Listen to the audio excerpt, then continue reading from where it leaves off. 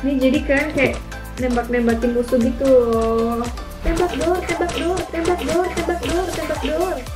Tembak, tembak, tembak. Seru banget. Ya, mati. Jadi, download game ini di Google Play Store, di App Store, dan kalian bisa main bareng aku, aku tunggu ya.